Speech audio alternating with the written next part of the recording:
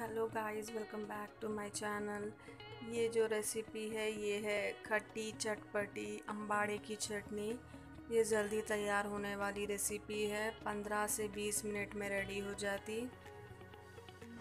तो चलिए रेसिपी शुरू करते हैं। ये है अम्बाड़े की भाजी छः बंचस मीडियम साइज़ के। और अब देखो मैं ये भाजी तोड़ के रेडी रख ली। और अब इसको मैं दो पानी से अच्छा वॉश कर लूँगी। वॉश कर लेने के बाद देखो भाजी हमारी रेडी है। और ये दस हरी मिर्चियाँ हैं, मैं इसको छोटे पीसेस करके रेडी रख ली। और अब इसमें मैं वॉश करी हुई अम्बाड़ी की भाजी ऐड कर दूँगी।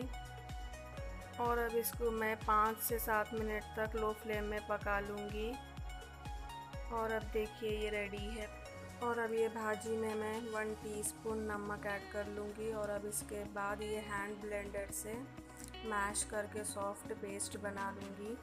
और ये देखिए भाजी हमारी सॉफ्ट हो गई।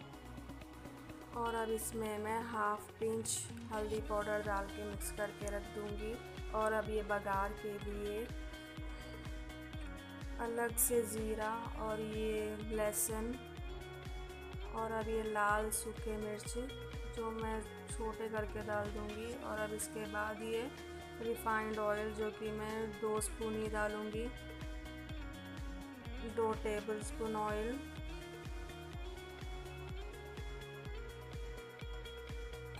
और देखिए ये बघार का कलर चेंज हो रहा।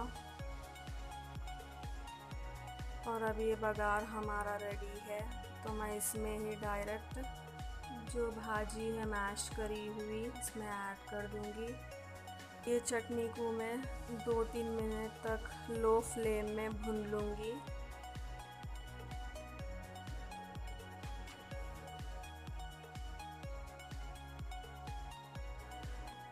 और ये देखिए, अंबाड़ी की चटनी हमारी रेडी है। मैं इसको सर्व करने के लिए ये छोटे बाउल में निकाल लूँगी। तो आप लोग देख सकते हैं, बिना ज़्यादा तेल इस्तेमाल करे मैं ये इतनी आसानी से अम्बाड़ी की चटनी रेसिपी बना दी। तो आप लोग इसे ट्राई कर सकते बिना ज़्यादा तेल इस्तेमाल करे। वीडियो हेल्पफुल रही तो लाइक शेयर एंड सब्सक्राइब